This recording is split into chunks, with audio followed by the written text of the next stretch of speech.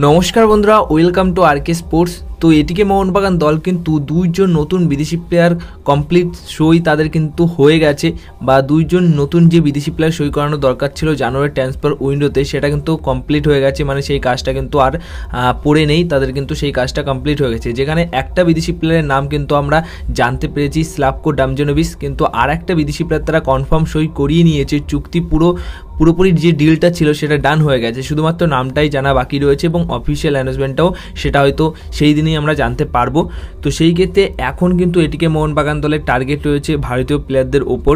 তাই ভারতীয় প্লেয়ারদের মধ্যে কিন্তু ভারতীয় মিডফিল্ডার এবং উইঙ্গার পজিশনের প্লেয়ার কিন্তু টার্গেট করে রেখেছে বা টার্গেটে কিন্তু রয়েছে এটিকে মোহনবাগান দলের বেশ কয়েকজন প্লেয়ার সেইখানে কিন্তু বেশ কয়েকজনের মধ্যে অপশন হিসেবে যদি বলি, তাহলে কিন্তু অপশন হিসেবে নাম রয়েছে যেটা আর কি পুটিয়া রলিন বর্জেস, এরকম কিন্তু দুইজন ভারতীয় প্লেয়ার টার্গেটে রয়েছে এটিকে মোহনবাগান দলের কিন্তু তারা যেহেতু অন্যান্য দলের সাথে চুক্তিতে রয়েছে মানে যে দলের হয়ে এই মুহূর্তে খেলছে সেই দলের চুক্তিতে রয়েছে। তাই সেখানে সেই দল তারা ছাড়বে কি ছাড়বে না একটা ট্রান্সফার ফির ব্যাপার রয়েছে। তো সেই ক্ষেত্রে এইখানেই কিন্তু এই ডিলগুলো কিন্তু ভেস্তে যেতে পারে। কিন্তু তাদের টার্গেটে পুটিয়া এবং রয়লিন বর্জিস এই রকম দুইজন ভারতীয় মিডফিল্ডার কিন্তু তাদের টার্গেটে রয়েছে।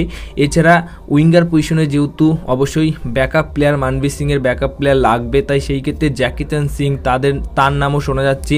এবং অন্যান্য কিছু অপশন রয়েছে যেমনটা আমাদের, আমি তোমাদেরকে লাস্ট একটি ভিডিওতে বলেছিলাম কমল থাতাল এবং অন্যান্য অনেক প্লেয়ার আছে যাদের কিন্তু নিলে অবশ্যই নিতে পারে এটিকে মোহনবাগান দল। তো এমন কিছু টার্গেট টার্গেটে কিন্তু রয়েছে এটিকে মোহনবাগান দলের বেশ কয়েকজন ভারতীয় প্লেয়ার এবার সেটা দেখা যাক যে কোন কোন ভারতীয় প্লেয়ার এটিকে মোহনবাগান দলে আসে বা কোন কোন ভারতীয় প্লেয়ারকে এটিকে মোহনবাগান দল যাদেরকে আর কি টার্গেট করে রেখেছিল, কোন কোন প্লেয়ারদের সই করায় সেটাই কিন্তু দেখা রয়েছে।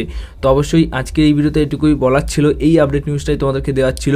যদি এই ভিডিওটা ভালো লেগে থাকে, ভিডিওতে লাইক শেয়ার কমেন্ট করো, আর চ্যানেলটিকে সাবস্ক্রাইব অবশ্যই করে নিও।